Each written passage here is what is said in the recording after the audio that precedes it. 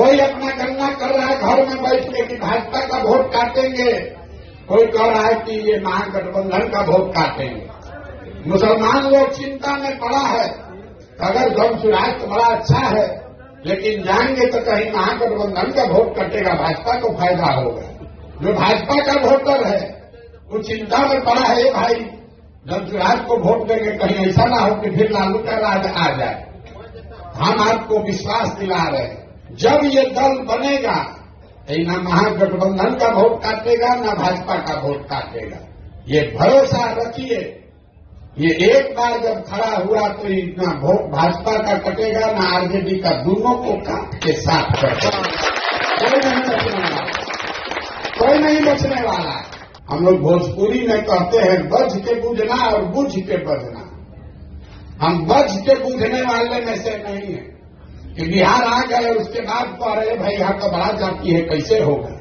ए भाई, यहाँ तो लालू नीतीश मोदी है, कैसे होगा?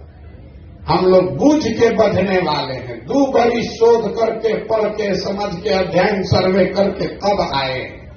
और अगर आए हैं तो आप मान कर चलिए कि इसको जीतने का खाता दिमाग में बना कर लाए।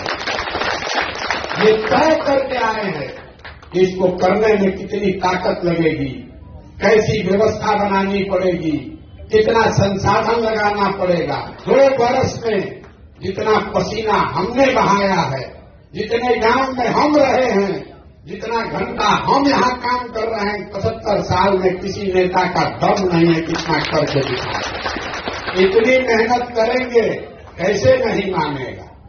यहाँ के समाज को घर घर जाकर समझाएँगे आखिर आपके हमारे बच्चों का सवाल है वो कहता है, भैया, बहुत कठिन काम ले लिए। हम आपको बता रहे हैं। ये कठिन है, इसीलिए हमको करना है। कोई नहीं करेगा, इसलिए हम करेंगे।